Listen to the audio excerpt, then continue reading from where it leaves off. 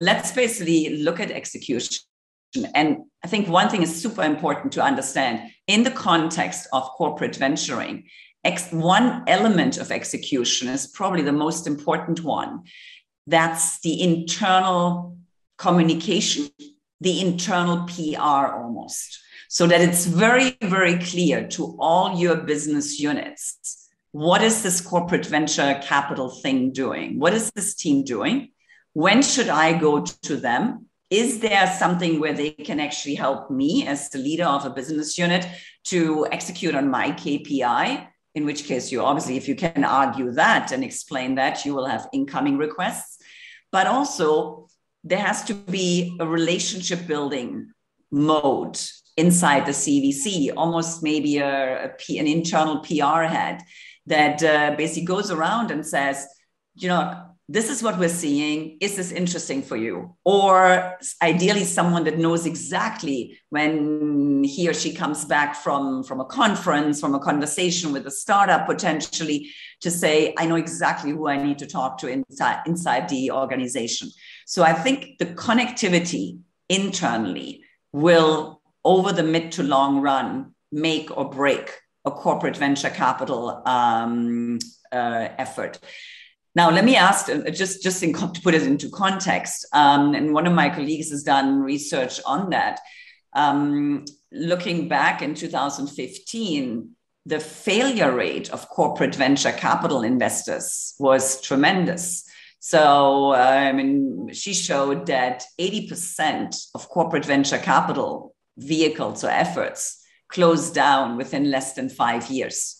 And I always get asked about why is that? And my answer is, and there would be a study to be done around that, is that it has to do with the um, with the tenure of CEOs. New CEO comes in, new sheriff in town, new di- different vision on execution, and so on. And since the CVC is usually considered non core, it's an easy one to kind of open and close very quickly. But I think at that point, and as the leadership change happens, it's super important to have shown that you have your kind of tentacles inside the organization as well. You have your connectivity, you need your kind of fan base internally that will come back and say no no we need those guys right? We, they're really useful you know they, they may be useful only once or twice a year to us but when they're useful they're really useful. This is good information for us to have. I think you have given a few golden nuggets as i call them but i really like the concept of internal PR. And it's interesting because in the last two days i probably talked to more than 50 cvcs in different groups. And the many that that are challenged inside the mothership, in the, inside their corporation, is really because they have not yet articulated wide enough, and I like the concept of fan base, they haven't articulated wide enough what they are learning and sharing back to the organization. And some of them do really well to share the information, but they only share it to the C suite, which means that the people in the middle management who are actually in charge of the P&L challenge why there is a CVC. And so I think the internal PR concept is extremely important. And I think what you're saying, and I'm going to add some granularity and then we will double click on it. There is one part of the internal PR, which is about sharing what you learn. So you show the value of the corporate VC from a strategic value point of view.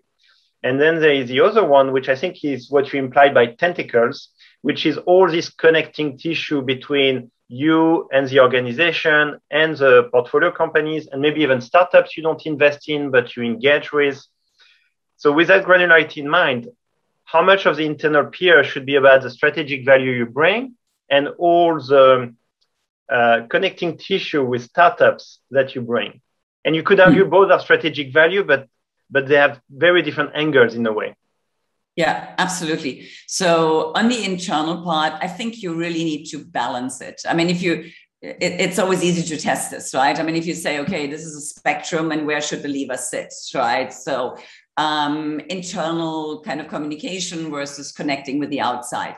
I don't think you can move the lever to only one side or the other. Right? If you're only engaging with startups, then clearly you're not going to get to your next fund or you're not going to make it even to year four.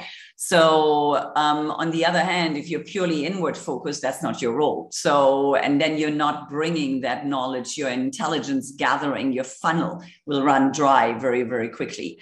So, I would argue the um, the engagement has to be balanced. And maybe at the beginning, when you're kicking off, let's say you're a startup CVC, you clearly need to ensure that the message goes out to the broader ecosystem. We are here, we're new, please engage with us. I mean, as we know, disregarding CVC, just on the VC side, what separates the wheat from the chaff, the good from the from the not so good VCs it's deal flow.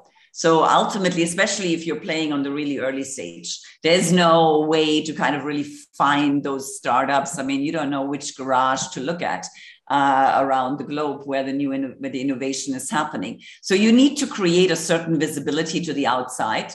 So if I am a um, if I'm a consumer startup, I know exactly which consumer parent companies have a CVC that I should be talking to. So that has to go out and that's potentially a starting point. But on the other hand, it's also it's crucial because that generates the funnel for you then to filter the knowledge and then distribute it internally as well. So you also have a certain filtering mechanism, but it does require, you're right, it requires a certain balancing act.